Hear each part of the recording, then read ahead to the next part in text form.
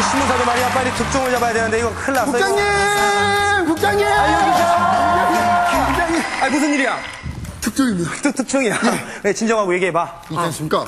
연예인들만 다니는 중학교가 있답니다. 아니 세상에 그런 중학교가 어딨어? 그게 있더라니까요. 아니 말이 되는 소리 하지 연예인들만 다니는 중학교가 어딨어? 있습니다. 저쪽에 가면요. 권오중이라고요.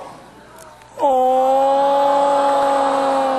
일 났네 일 났어. 아니, 아니 권오중이 권오중이 연예인들만 다니는 중학교가 권오중이냐? 그중에서 권오중이야? 그럼 아무도 다니지 않는 중학교는 부재중이냐? 부재중이야? 국장님 그러면요. 수리 탐구 영역만 집중적으로 공부하는 학교는 수리 중이네요. 수리 중. 잘 들어.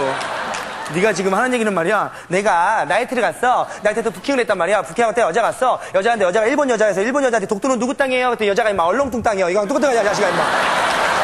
누구 땅이야? 하늘 땅 국장님은 별 땅. 어머 이 독도는 우리 땅.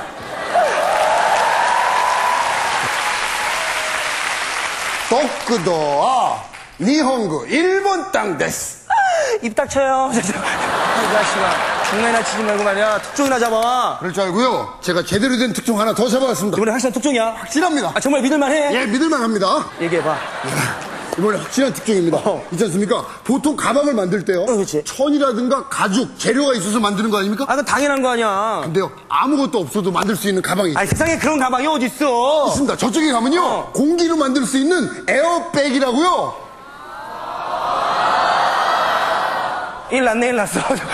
아니, 에어백이 공기로 만든 가방이 에어백이야? 그게 그래서 에어백이냐? 아니, 그럼 이태리에서 만든 가방은 이태백이냐? 어? 아, 아, 그럼 터미네이터가 들고 다니는 가방은 아비백이야? 아비백? 어? 국장님, 그러면요, 샌드위치 넣어가지고 다니는 가방은 샌드백이네요. 잘 들어. 네가 지금 하는 얘기는 말이야. 내가 국장님!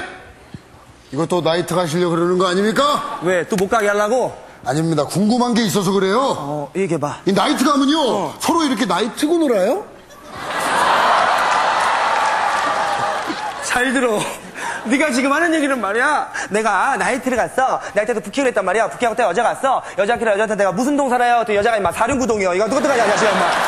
너 무슨 동 살아? 강호동 국장님은 김제동. 어머, 튀김우동. 국물이 국물이 뜨거워요. 어 뜨거워.